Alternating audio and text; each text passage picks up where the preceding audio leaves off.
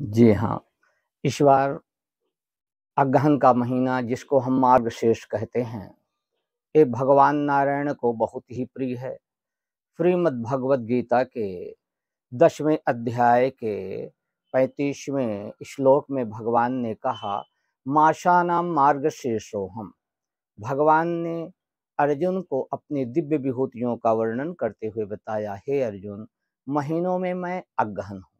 ये अगहन का महीना, भगवान नारायण का स्वरूप है और जो भगवान नारायण की पूजा समस्त कामनाओं को पूर्ण करने वाली है।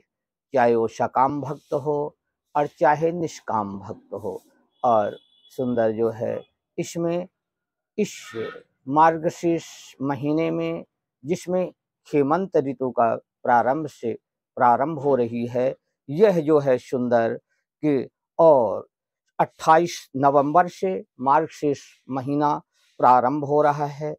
पहला गुरुवार के दिन भगवान नारायण की पूजा, जो पहला गुरुवार 30 नवंबर को है। प्रातः काल उठ करके, स्नान करके सुंदर, पवित्र शुद्ध वस्त्र पहन करके, केले के पेड़ की भी पूजा और भगवान नारायण की पूजा होती है विधिवत। जिस प्रकार से यथाशक्ति वस्त्र मिल जाए, सुंदर, पीले वस्त्र पीली पीली वस्तु जैसे चना की दाल आदि अर्पण करके भगवान नारायण की विधिवत धूप दीप नार नैवेद्य से पूजा करते हैं, केले के पेड़ की पूजा करते हैं।